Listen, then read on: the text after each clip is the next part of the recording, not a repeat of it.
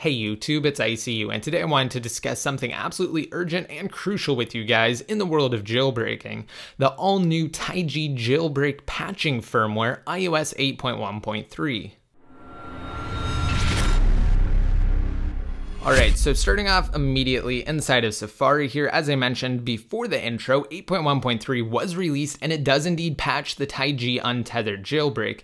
That's the gist of it, and if you want instructions on how to avoid the update, as well as how to maintain your device's jailbreak through iOS 8.1.3 and future updates, I will actually have an annotation on the screen now to my recent coverage, as well as a link to it down below in the more info. Again, I highly recommend watching that for everyone. And with that said, let's go ahead and switch over and get more in depth. So today, in a rather devastating blow to the jailbreak community, albeit a foreseen one, Apple issued iOS 8.1.3, the third incremental 8.1.x update, succeeding both 8.1.2 and 8.1.1 to the general public. Now, currently, unlike the latest firmware's predecessor, 8.1.3 cannot be jailbroken by the latest TaiG jailbreak utility, which has officially been patched. Now, in light of the rather painful fact that it's currently not possible to jailbreak 8.1.3, today's news isn't all bad.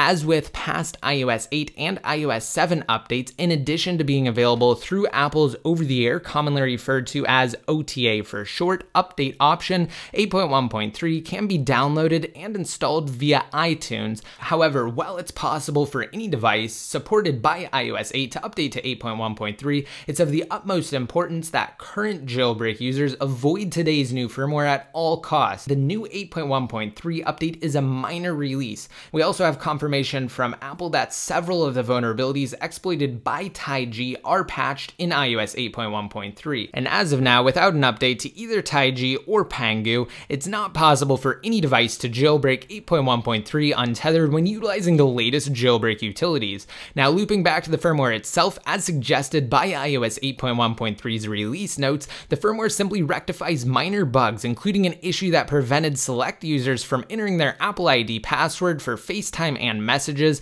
a bug that caused Spotlight to stop showing app results, which was certainly an annoying one, a complication with multitasking gestures on iPads, and a few other oddities. Now, in other words, as far as iOS 8.1.3 is concerned, the update is relatively small, carries a slightly revised build number over 8.1.2, and is intended to improve a number of smaller issues present in iOS 8.1.2 and earlier iterations of iOS 8. Although 8.1.3 does provide a remedy for issues that have plagued devices running iOS 8, it's recommended that all users who are currently jailbroken on iOS 8 through 8.1.2 again avoid the latest update.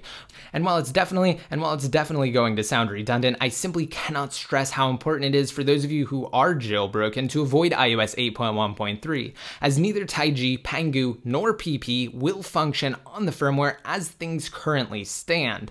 Now again, as I mentioned before, if you guys are interested in how to maintain your device's jailbreak, then just be sure to watch my recent video. It does include some really useful and helpful tips. Now to summarize, several vulnerabilities utilized by TaiG have been patched in iOS 8.1.3, namely the primary kernel exploit, and it's anyone's guess which team will release the next jailbreak utility, but they could very well opt to wait for iOS 8.2, seeing as it's both the next major iteration of iOS 8 and rumored for release sometime in March alongside the forthcoming Apple Watch. And in spite of the fact that security updates aren't really listed in Apple Apple's official changelog for the firmware, TaiG's kernel exploit, in addition to several others, were indeed patched, as stated on Apple's official security page. And let's go ahead and switch over there just so I can show you guys really quick. And that's why I didn't release this video immediately following iOS 8.1.3's release, because Apple didn't actually update their security page with iOS 8.1.3. It simply showed 8.1.2 as being the latest firmware. However, I was able to find Apple Apple's official support listing, and when you do a search for TaiG, it does confirm that they did patch several of the vulnerabilities. As you can see, we do have four matches on the security document here stating that these vulnerabilities have indeed been patched in iOS 8.1.3, and they do credit TaiG for discovering them. So as you can see, the final one is actually the kernel exploit. As you can see, it has been patched for devices being the iPhone 4S and later. So every single iOS device running iOS 8.1.3 does have this new kernel exploit patch, meaning it cannot be utilized again for 8.1.3 and future iterations of iOS 8 like 8.2. So keep that in mind. This is not just another simple update like 8.1.2 was because it does patch the jailbreak. So TaiG will not be releasing a jailbreak utility in less than 24 24 hours like they did for iOS 8.1.2. I will keep you guys completely updated along the way though, so if you aren't already subscribed, just be sure to hit that subscribe button down below next to my channel name if you're on the main page for this video, and from there you will be updated immediately when a new jailbreak utility is available, as well as new updates pertaining to the development of such a tool. Also, if you guys want to be updated even more frequently, then just be sure to like me on Facebook and follow me on Twitter. I will also keep you guys updated of all Apple products, including the forthcoming Apple Watch. And until next time, this is ICU signing out.